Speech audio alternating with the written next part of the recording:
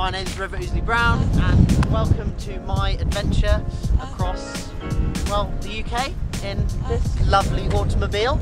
Um, this is Cecilia. Um, I'm beginning in Land's End in Cornwall and I'm probably going to just go inside because it's a bit windy out. Right, so I am in, I'm in Land's End in Cornwall down here at the moment and my plan is to slowly kind of make my way up, maybe through Wales, up this way, up to maybe Scotland. I need to be in Norfolk for a bit, but essentially I'm just gonna try and go all around as where I want to go. That's what the mission is.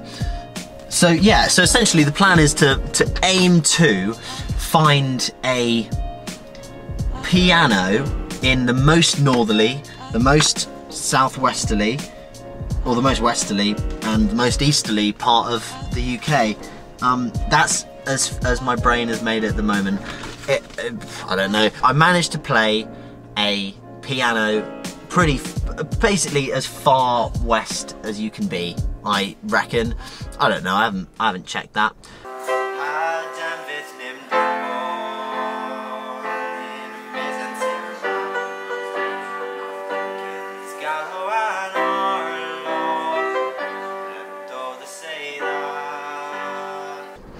I'm gonna have my journals with me. For the last oh, there's some lovely birds over there.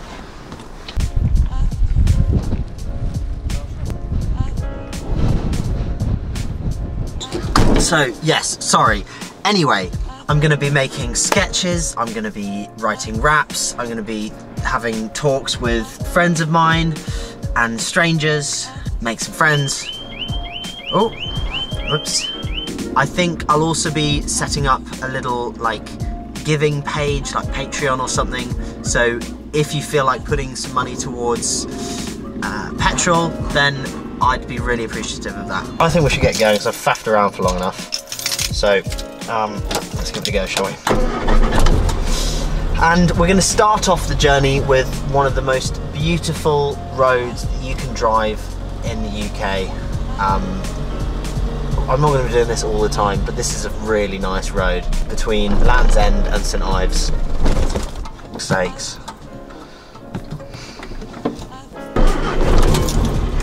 Yeah. There it is.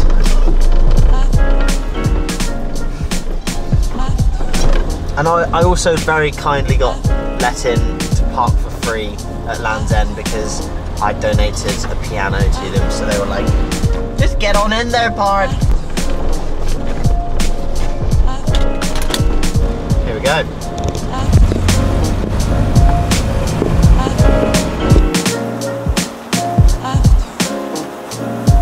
Chasing the plane down, Bard.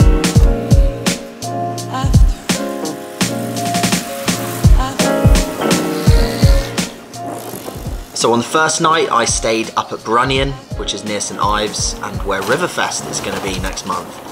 So if you're around for that, then please feel free to come along. It would be amazing to have you there on the 27th of May. And the next morning, I went to Marazion, which is overlooking St Michael's Mount, and Ian very kindly gave me an amazing demonstration on how my little Moggy works. If you're interested in engines, or even if you don't know anything about engines, then this is a really good demonstration of how a very simplistic one works. And again, you just get your hammer and because if that shackle comes away from there, the back end of your car collapses and you've got immense damage. So keep an eye on The that. And if you see oil dripping out of that, Yeah. then you should check it out. Yes. You undo that and you top it up so that the oil starts to come out of that. Right. Then you put it back in again. Perfect. Okay. There's no way of and knowing any until any particular same oil as goes in the engine. No, no, no, it's a heavier, much heavier. A differential oil is a heavier oil. And it goes into your pump Yeah. and then that pumps round into there. Okay, and that sometimes can get a bit clogged if you're finding it's missing a bit. Yeah. Things you check. And don't you do it, get the garage to do it. yeah, I That's the will. sign. That thing. Right, inside of that is a float on your carburetor. Yeah, that's fine. And that you put a very thin oil in that now and again. and it allows the float in the carburetor. When you when you accelerate, that float goes up and down to allow the amount of fuel into your engine. Oh, I see. And if that gets tight, it's because it's not There's not enough oil. That's your air filter. And from your battery, you've got to come in. There it is, gets down there. And it comes into this thing. And it's called your coil. If it's turning over but not happening, Mhm. the things you check. First of all, your power's coming in. Make sure that lead, because they're prone to coming off, Oh, that's goes into connected. the coil. And what a coil does, it takes 12 volts and converts it to many thousands of volts.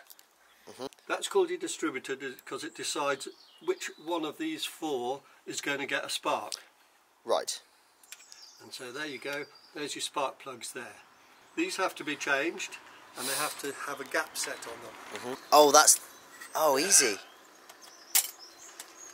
Oh, wicked. See that? Yeah. That edge, in fact, that should be nice and shiny. Yeah. Okay. Okay. Alright, so you want a spare fan belt, uh, top hose, side hose, set of points, and a set of plugs.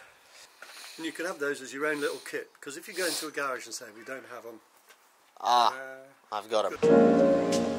after. After. After.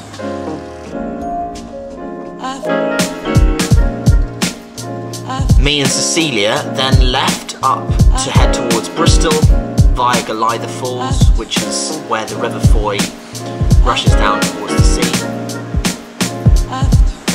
I'm not sure exactly how far away from the sea it is, but it's some lovely woodland and made for some very serene and peaceful moments.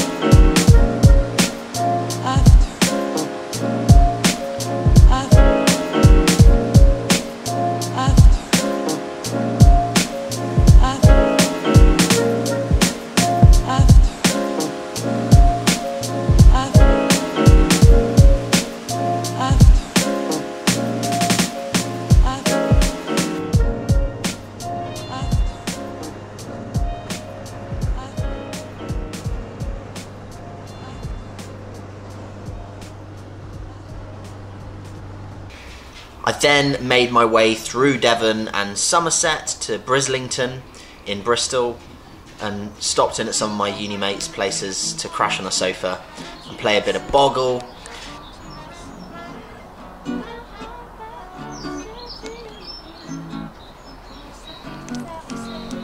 Then I was making my way over to London to see Tanya, who was coming all the way over from Switzerland for two weeks.